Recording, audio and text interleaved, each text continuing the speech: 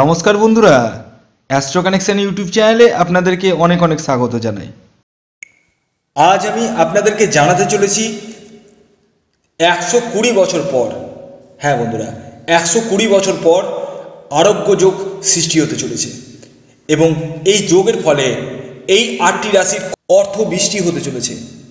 হ্যাঁ বন্ধুরা, কোন সেই সৌভাগ্যবান আটটি রাশি তা আমি ভিডিওতে বলতে চলেছি, তাই ভিডিওটি এতটুকু স্কিপ করবেন না। তো বেশি দেরি না করে আসুন, শুরু করা যাক।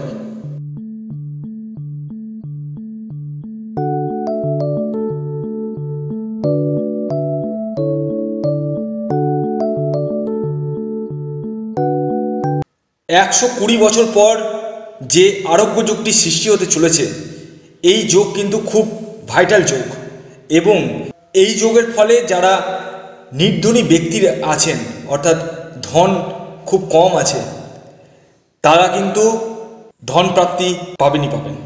তো তার জন্য আপনাদেরকে কিছু কাজ করতে হবে এবং কিছু নিয়ম আছে। সেই নিয়মগুলো আমি বলব এবং কিছু আপনাদের কাজও করতে হবে, সমস্তটাই আমি এই ভিডিওতে কভার করব। তারপরে আপনারা নিজেরাই ডিসাইড করে নিতে পারবেন যে আপনারা এই যোগ থেকে ফল পাবেন কি পাবেন না? তো প্রথমে জানাই কারা এই যোগ থেকে ফল পেতে চলেছেন। তারপরে জানাব কিছু রুলস মানে যা, যে কটা রাশির আমি বলব, সবাই যে পাবেই এটা একদম গ্যারেন্টি নেই কিন্তু, আবার সবাই পাবে, এটাও ব্যাপার আছে। কিছু রুলস আছে, সেই রুলসগুলো আমি ভিডিও শেষে বলতে চলেছি। তো প্রথম যে রাশির কথা আমি বলব, সেটি হচ্ছে বৃশ্চিক রাশি। হ্যাঁ বন্ধুরা, বৃশ্চিক রাশির জাতক ও জাতিকারা এই আরোগ্য যোগের ফলে ধনপ্রাপ্তি হতে চলেছে এবং আপনাদের অর্থনৈতিক অবস্থা অনেকটাই মানে নাইনটি পার্সেন্টই ভালো হবে, আমি দায়িত্ব নিয়ে বলছি। এরপরে যে দ্বিতীয় রাশিটির কথা বলব, সেটি হচ্ছে ধনু রাশি। হ্যাঁ বন্ধুরা, ধনু রাশির জাতক ও জাতিকারাও কিন্তু এই আরোগ্য যোগের ফলে আপনারাও কিন্তু ধন প্রাপ্তি হবেই হবে।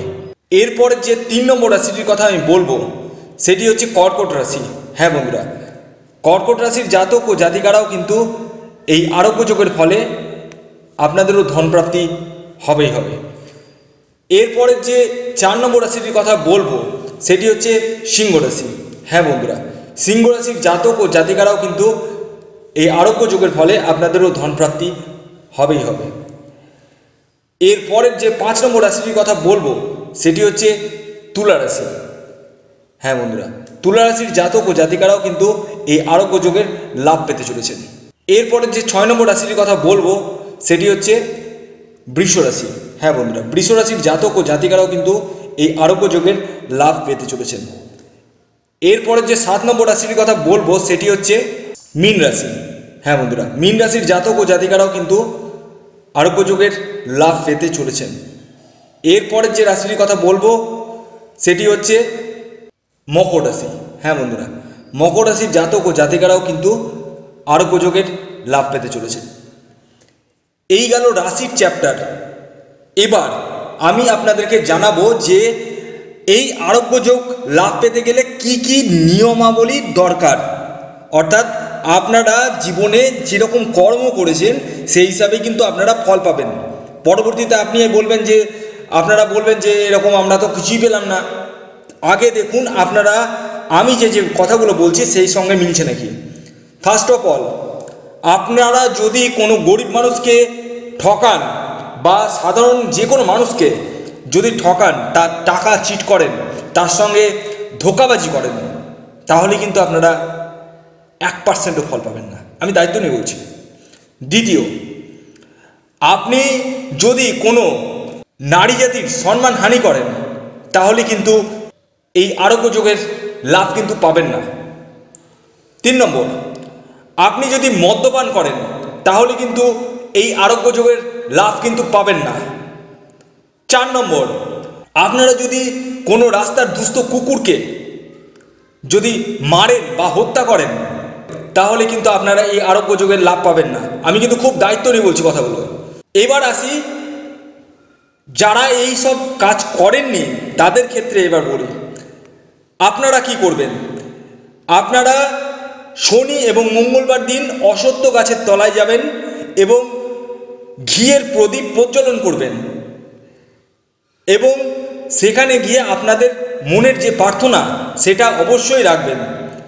এছাড়াও প্রতিদিন আপনারা গঙ্গা জলে, বালতিতে গঙ্গা জল নেবেন, সেই বালতিতে জল নেবেন, সেই সেই জলে কিছুটা পরিমাণ গঙ্গা জল এবং তুলসী পাতা দিয়ে প্রতিদিন স্নান করবেন।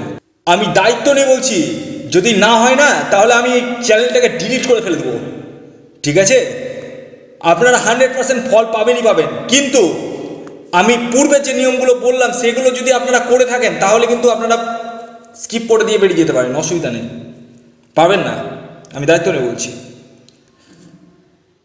তো ভিডিওটি কেমন লাগল অবশ্যই জানান। এনি কোয়ারিজ কোনো রকম কোয়ারিজ যদি থাকে, আপনারা কমেন্টস বক্সে আমাকে জানাতে পারেন। ততক্ষণ পর্যন্ত আপনারা সকলে ভালো থাকুন, সুস্থ থাকুন, সকলকে ভালো রাখুন। এটাই আমি আপনাদেরকে বলব। ধন্যবাদ।